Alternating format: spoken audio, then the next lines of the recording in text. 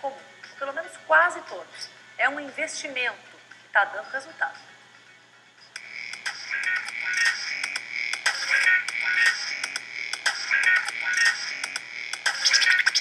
Números, análises, câmera, ação.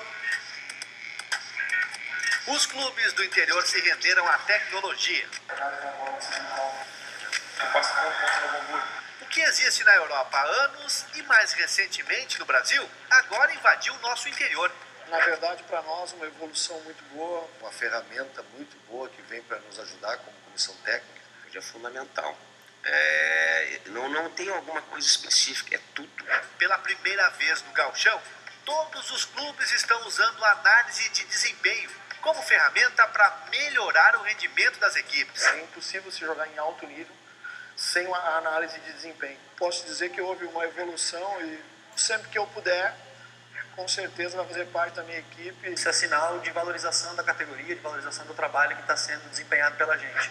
Eles são unidos, formaram um grupo no celular para trocar mensagens e assim um ajuda o outro. Quando eu vou visitar um colega, eu já mando uma mensagem, falo, ó, prepara já uma cabine aí, se possível, já deixa uma água junto para nós aí. Quando você vier na minha casa, você vai ser bem, bem recebido. O analista de desempenho tem que ir ao estádio, é ele quem grava todos os jogos e depois ele passa horas na frente do computador. Ele pode, por exemplo, ver e rever um jogo várias vezes. Anota todos os detalhes que você possa imaginar, da bola parada até os movimentos ofensivos e defensivos.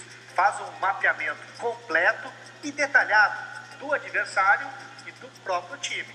Mais ou menos três horas por noite que eu fico fazendo tagueamento de cada jogo, assistindo a partida. A nossa missão é dissecar o adversário. Em torno de três jogos do adversário, a gente avalia. Análise minuciosa e o resultado se vê em campo. Antes do Cruzeiro enfrentar o então invicto Novo Hamburgo, o técnico Ben-Hur recebeu todos os dados do adversário e armou uma estratégia. E deu certo. Eu acabei tirando nove bolas de cabeça ali contra o Novo Hamburgo. Então eles fizeram ali o scout de onde a bola estava caindo, onde a gente estava tendo mais dificuldade e me botou ali. O Novo Hamburgo, lá no início do campeonato, também se valeu da análise para derrotar o Inter.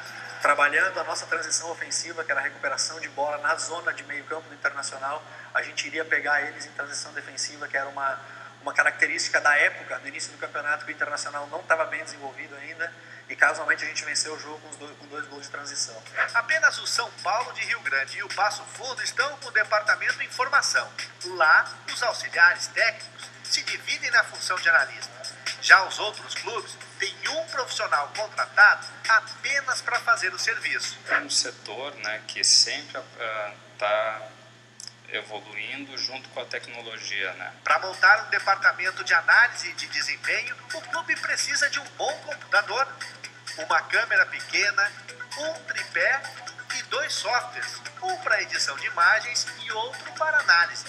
Os gols vão acontecer, falhas é, é, é, natural que aconteça, né? Uma surpresa, assim, um jogador nosso poder dizer que foi surpreendido por um movimento adversário isso raramente tem acontecido e raramente vai acontecer. Isso tem tornado o campeonato uh, muito mais difícil.